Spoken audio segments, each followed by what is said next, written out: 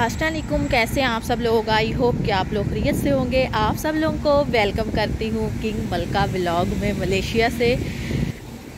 तो मैं जा रही हूँ शॉपिंग मॉल धूप भी चेक करें, अच्छी खासी निकली हुई है।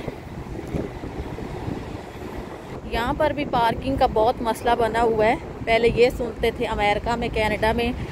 पार्किंग बड़ी मुश्किल से मिलती है, बहुत ज़्यादा उसके चार्जेस होते हैं, लेकिन आजकल यहाँ पे भी कुछ ऐसे हालात हैं। कहते हैं ना, खरबूजे को देख के खरबूजा रंग पकड़ता है, ऐसा ही है। जब कोई किसी को देखता है तो वैसे ही करना स्टार्ट कर देता है। वैसे यहाँ की आवाम बहुत बोली बाली सी है, दूसरे लोगों से ज़्यादा सीखती है कि वो क्या कर रहे हैं, फिर ये भी करना स्टार्ट कर देते हैं। मुझे तो पहली बार एहसास हुआ है कि मेरा मेकअप जो है ना, ख़त्म हो चुका है, मेरे पास है नहीं। ख़त्म तो खैर से नहीं हुआ, बस मेरी आदत है कि मैं कुछ दे दिला देती हूँ, जो यूज़ कर रही होती हूँ अच्छा लग रहा होता है तो ज़्यादा यूज़ भी नहीं करती हूँ। शादी के बाद ऐसा ही होता है ना, कि घर में जब मसरूफियत होती आना जाना कहीं नहीं होता तो फिर बड़ा बड़ा मेकअप एक्सपायर हो जाता है। तो मेरा मेकअप असल में हो चुका था गुम बैग पूरे का पूरा ही। तो ईद पे तो मुझे एहसास हो रहा था कि मेरे पास थोड़ी बहुत चीज़ें होनी चाहिए बेस वगैरह। तो ये शॉपिंग मॉल हमारे घर के करीब ही है, जहाँ पे मैं जा रही हूँ। अभी वहाँ पे धूप है तो मैंने कहा इशारा खुल चुका है तो वहाँ पे मुझे रुकना पड़ेगा धूप में। अम्ब्रेला तो मेरे पास है, लेकिन फिर भी मैंने कहा यहाँ पे मैं छाँव में खड़ी हो जाती हूँ। जब यहाँ पे इशारा बंद होगा, तब भी मैं क्रॉस करूँगी, ताकि मैं धूप से बच पाऊँ। क्योंकि थोड़ी बहुत मेकअप की चीज़ें होनी चाहिए। मेरा तो पूरे का पूरा बैग ही गुम हो चुका था। इस वजह से थोड़ी बहुत जो घर में चीज़ें पड़ी थी वही बची हैं। बाकी सारी तमाम हो गई। तो मैं अब यही सोच रही थी कि चलो चलती हूँ, जाके देखती हूँ, क्योंकि ये जो हम लोग मेकअप वगैरह बाय करते हैं ना, इसके मामले में हम औरतें बहुत ज़्यादा जो है ना टाइम लगाती हैं चेक करके लेना पड़ता है। कोई चीज़ हम लोग उल्ट ले बैठे, फिर हमें अफसोस लगा रहता है। तो मैंने कहा, मैं चलती हूँ, जाके बेस वगैरह जो है ना, वो चेक करती हूँ। तो फिर देखते हैं कि यहाँ से लेनी है या किसी और शॉपिंग मॉल से जाके लेंगे। क्योंकि बहुत सारी जगह पे ना डिस्काउंट लगता है, जिस पे अच्छी चीज़ें मिल जाती देखें, इशारा हो चुका बंद, लेकिन मुझे तो इतना ख्याल ही कोई नहीं। तो यहाँ पे खड़ी वीडियो बना रही हूँ।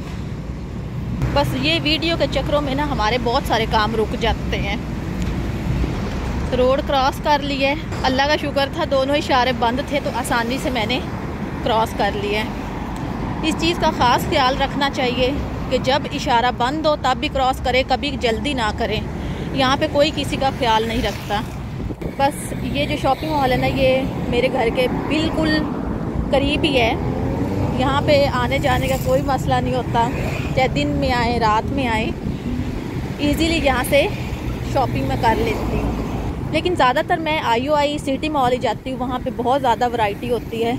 लेकिन मेकअप यहाँ पे मैं चेक करने के लिए जा रही हूँ। मुझे बस एक बात याद आ गई कि जहाँ पे भी हम लोग जाते हैं, हमें कुछ नहीं पता होता शुरू शुरू में।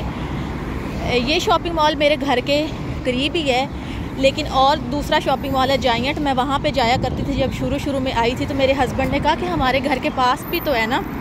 मैं दो बार आई, चक्कर लगा के चली गई उन मैं समझती थी इधर से गाड़ी अंदर जाती है और इधर शॉपिंग मॉल है। हालाँकि यहाँ पे नीचे पार्किंग थी और पैदल जाएँ तो इधर से आगे थोड़ा सा जाना पड़ता है। मैं दो बार आई चक्कर लगा के चली गई मैंने अपने हस्बैंड को बताया ही नहीं। फिर मैं दूसरे शॉपिंग मॉल जब गई तो मेरे हस्बैंड ने कहा कि आप कहाँ हो? मैंने कहा, मैं घर पे नहीं हूँ, मैं तो शॉपिंग मॉल हूँ। तो उन्होंने मुझे बोला कि हमारे घर के करीब भी तो है फिर मैंने उन्हें बताया, मैंने कि ऐसे करके मुझे तो कोई नहीं मिला। वहाँ पे तो मुझे कुछ भी नज़र नहीं आया। गाड़ियाँ थी वहाँ पे, खड़ी हुई वहाँ पे तो मैंने आगे भी जाकर देखा है, वहाँ पे आगे कोई रास्ता नहीं था।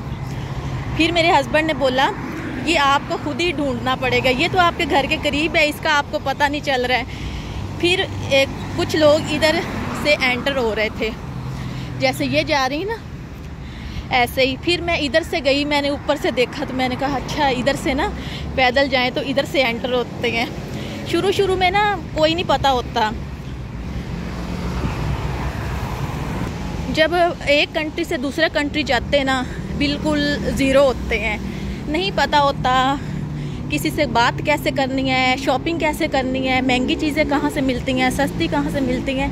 कुछ पता नहीं होता है। आहिस्ता आहिस्ता ना इंसान सब कुछ सीख जाता है। तो इसलिए अगर आप भी किसी कंट्री में चले गए हैं, वहाँ पे आप लोगों के शुरू के दिन हैं तो घबराने की कोई ज़रूरत नहीं। आहिस्ता आहिस्ता आप लोग भी समझ जाएँगे।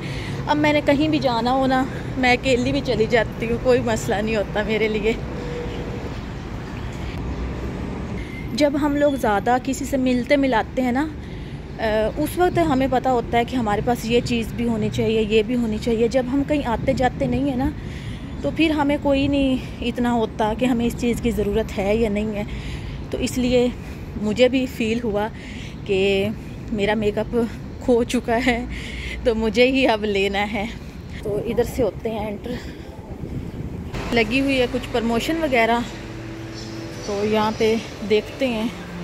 जब हम लेडीज़ ने मेकअप की शॉपिंग करनी होती है तो इसके लिए हमें बहुत ज़्यादा टाइम चाहिए होता है। हर चीज़ को हम लोगों ने चेक करना होता है और ये बहुत मुश्किल काम होता है मेकअप सेलेक्ट करना, क्योंकि यहाँ पे बहुत ज़्यादा ऑप्शन होते हैं तो कुछ समझ भी नहीं आ रहा होता। तो यहाँ पे मस्कारा चेक करते हैं, मुझे लेना है वाटर प्रूफ तो हम पहले इसमें से चेक करते हैं कि कौन से वाला ज़्यादा अच्छा है। और यहाँ पर प्रमोशन लगी हुई है और अच्छी खासी यहाँ पर ना प्रमोशन जो है ना इस मस्कारे पर लगी हुई है। और ये है वाटर प्रूफ जो मैं आप लोगों को दिखा रही हूँ।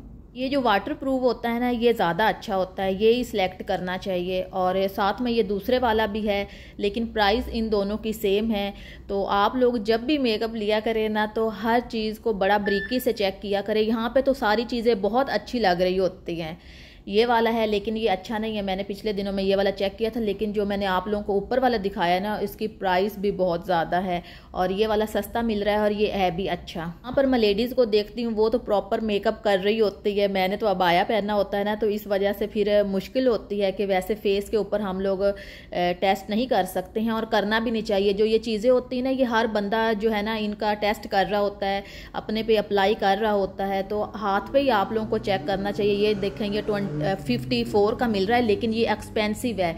ये बहुत ज़्यादा इन्होंने यहाँ पे एक्सपेंसिव किया हुआ है। ये बोल देते हैं कि प्रमोशन है और रेट अक्सर जो है ना चीज़ों के बढ़ा देते हैं। ये वाला बहुत महँगा यहाँ से मिल रहा है। इधर आगे से फाउंडेशन वगैरह चेक करते हैं। यहाँ पे वैरायटी भी बहुत ज़्यादा है। आप लोग ऐसे किया करें कि जब आप लोग कोई चीज़ अगर बाय करते हैं ना तो आप लोगों को वो चीज़ पसंद आ जाती है तो आप लोग ये सोच रहे होते हैं, ये हम लें, ना लें, थोड़ी सी कन्फ्यूज़न होती है ना तो आप लोगों को उस चीज़ की पिक्चर बना के रख लेनी चाहिए।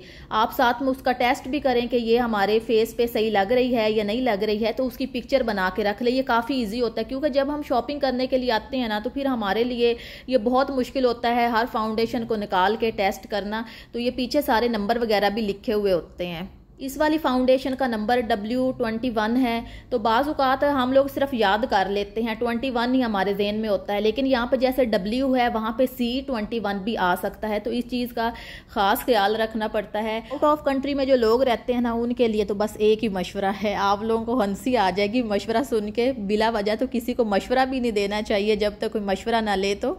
मैं तो यहाँ पर यही बोलूँगी कि यहाँ पर आना जाना कहीं होता कोई नहीं है, बस वड़ जाओ तुम किसी शॉपिंग मॉल में तो चंगा जो ਪੇਂਟ ਕਰ ਲਓ ਇੱਥੇ ਸਾਰੀ ਹਾਰਸ਼ਾ ਤੁਹਾਨੂੰ ਫ੍ਰੀ ਟੈਸਟ ਕਰਨ ਨੂੰ ਮਿਲ ਜਾਂਦੀ ਅਗਰ ਤੁਸੀਂ ਪੈਸਿਆਂ ਨਾਲ ਤੁਸੀਂ ਅਗਰ ਬਾਏ ਕਰਦੇ ਹੋ ਨਾ ਤਾਂ ਉਹ ਫਿਰ ਐਕਸਪਾਇਰੀ ਹੋ ਜਾਣੀ ਹੁੰਦੀ ਕਿਉਂਕਿ ਕਿਧਰੇ ਆਣਾ ਜਾਣਾ ਹੁੰਦਾ ਕੋਈ ਨਹੀਂ ਹੈ ਤਾਂ ਖੂਬ ਇੱਥੇ ਲਿਪਾ ਲਿਪੀ ਕਰ ਲਓ ਤਾਂ ਆਰਾਮ ਸਕੂਨ ਨਾਲ ਨਿਕਲ ਜਾਓ टेस्ट करने के लिए यहाँ पे सारी चीज़ें रखी हुई हैं बस मेरे दिमाग में ना ये आया आइडिया मैंने कहा कि आप लोगों को ना ये आइडिया दे देती हूँ ताकि आप लोगों के हस्बैंड के पैसे भी बच सकें और आप लोगों का मेकअप का शौक भी पूरा हो जाएगा यहाँ पे इन्होंने कितनी चीज़ें रखी होती हैं ये चीज़ भी टेस्ट करो, वो चीज़ भी टेस्ट करो। वैसे इन्होंने ये काफ़ी अच्छा काम किया हुआ है कि चीज़ सेलेक्ट करने में काफ़ी ज़्यादा आसानी हो जाती है। यहाँ पे देखें ये कितने अच्छे अच्छे कलर हैं। अगर वैसे हम लोग चेक करते हैं तो हमें तो नहीं पता कि ये कौन से वाला कलर हम पे कैसे सूट करेगा। जब हम ऐसे ट्राई करते हैं ना तो हमारे लिए काफ़ी आसानी हो जाती है। मैं जब भी कोई मेकअप चेक करती हूँ तो अपने हाथ पे लगा के चेक करती हूँ, क्योंकि ये जिन्हें टेस्ट करने के लिए रखा होता है ना, इसे सत्तर सौ लोग इसे यूज़ कर रहे होते हैं। तो ऐसा नहीं कि लिपस्टिक को उठाया और अपने होंठों के ऊपर जी लेपा लेपी शुरू कर दी स्पंज को उठाया और अपने फेस के ऊपर जी रगड़ा लगाना शुरू कर दिया। एयरपोर्ट पर तो हम लोग अक्सर देखते हैं, लड़कियाँ अपना मेकअप फ्रेश करने के लिए ऐसे ही शॉप के अंदर घुस जाती हैं और अपना मेकअप फ्रेश कर रही होती हैं। आज की वीडियो आप लोगों को मेरी कैसी लगी है कमेंट्स में अपनी राय का इजहार ज़रूर कीजिए, अपना ख्याल रखिए और मुझे दुआओं में याद रखिए। फिर मिलते हैं नेक्स्ट वीडियो में, तब तक के लिए अल्लाह हाफिज़।